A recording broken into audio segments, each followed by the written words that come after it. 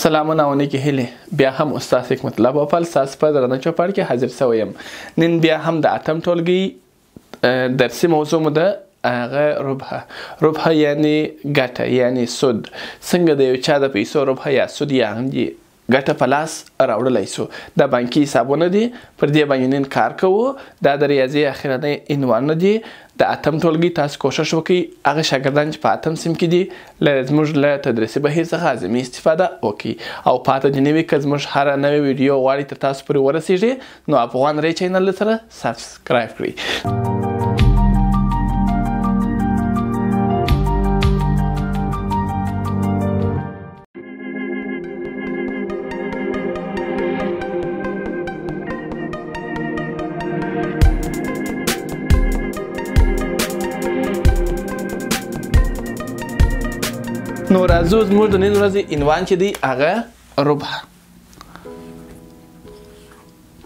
ربح ربح یعنی ګټ یا هم سود سود ربح یا ګټه نن موږ وایو لمړی تعریف داس دی د ربح هغه ګټه هغه ګټه چې په یو معلوم وخت کې له ټاکلې سرمایې څخه د فیصدۍ له مخې په لاس راځي د ربح په نامه سره یادیږي هغه ګټه چې په یو معلوم وخت کې له ټاکلې سرمایې څخه د فیصدۍ له مخې په لاس راځي د ربح په نامه سره یادیږي که چاول ربح تعریف کا هغه کې به داسې هغه ګټه چې په یو معلوم وخت کې له ټاکلې سرمایې څخه د فیصدۍ له مخې لاسته راځي روپه بلل کیږي روپه یا سود چې په لاس راوړو د یو چا له پیسو عمومي طریقه یې داسې ده روپه روپه یعنې سود چې په لاس راوړو د یو چا له پیسو هغه داسې په لاس راځي وخت ضرب سرمایه ضرب نرخ تقسیم پر سل کله چې د یو چا د پیسو ربح یا سود یا ګټه په لاس راوړو نو دغه فورمولې څخه به استفاده کوو اوس مثلا یو مثال دی مثلا یو مثال دی وای کچیر یو شخص کچیر یو شخص مثلا 15 لک او شل زر افغانۍ پنځه لک و شل زره افغانۍ دا سرمایه یې په بانک کښې ایږدي څومره وخت لپاره ایږدي د څومره وخت لپاره مثلا د دوه کال لپاره یې په بانک کې ایږدي پرېږدي په بانک کې په کوم نرخ سره یې په بانک کې ایږدي نرخ یې مثلا اته فیصده دی ګوري یو سړی دومره پیسې دوه کاله بانک ته په دغه نرخ سره ورکوي اته پیسره نرخ څه معنا هر بانک ځان ته یو نرخ لري اته پیسره نرخ دا معنا چې پر سلو باندې اته افغانۍ ګټه ورکوي سود ورکوي اته پیسره نرخ دا معنا که چیر دا سړی پیسې بانک ته ورکړي سل افغانۍ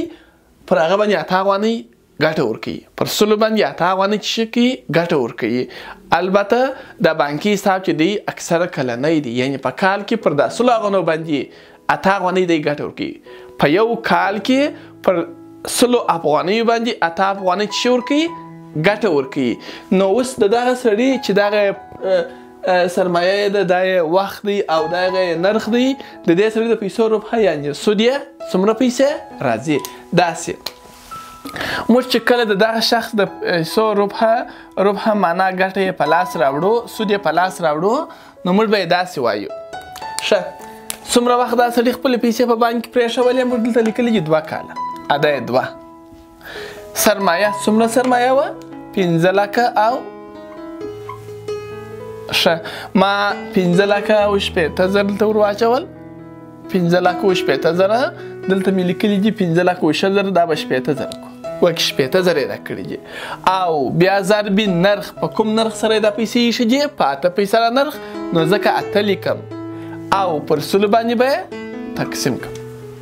نو بیا به موږ ووایو چې ربح یعنی سود یې مساوي کیږي ګوري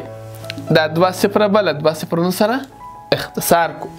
دلته پاته دي دوه ضرب پنځه زره او شپږ سوه ضرب اته صفرونه تلېږي یو پاته دي دا مخرج که یوې کې ونه لیکو پروا نه کوي ځکه هر عدد چې پرې وتقسیم کو بیرته همهغه عدد په لاس راکوي صرف دغه د ضرب عملیه چې ده دا اجرا کوو یعنی دوه ضرب پنځه زره او شپږ سوه ضربي هم اته یو پلا به دا دوه ضرب کو د دې دوه جواب بیا په اته کښې ضرب کو دوه صفر صفر دوه صفر صفر دوه شپږ دولس یو مې حاصل دوه پنځه لس یو حاصل د یولس دا نتیجه بیا راواخلي په اته کښې ضرب کوي اته صفر صفر اته صفر صفر اته دوه شپاړس یو می حاصل یو اته اته یو حاصل ده نه او یو اته اته نو د دغه سړي د پیسو روپه یعنی ګټه چې ده هغه نه اتیا زره او شپږ سوه افغانۍ ده نو کله چې تاسو د یو چا د پیسو روپه یعنی ګټه په لاس راوړئ نو تاسو به دا د حل طریقې لپاره فورمول دی چې هغه وخت و سرمایه و نرخ به سره ضرب کوي او پر سلو به یې تقسیم کوي. دا په دا دوه کالو کې د دغه سړي د پیسو ربحه ده. ربحه ډېره ساده وه، تعریف مې درته وویل او په دغه شکل به یې تاسو مثالونه هم حل کوئ. نو خدای دې وکړي چې تاسو پوه شوي یاست. د ربحې لپاره به تاسو دا فورموله کاروئ او دغسې به یې سوال حلوئ. له توجه څخه مو مننه.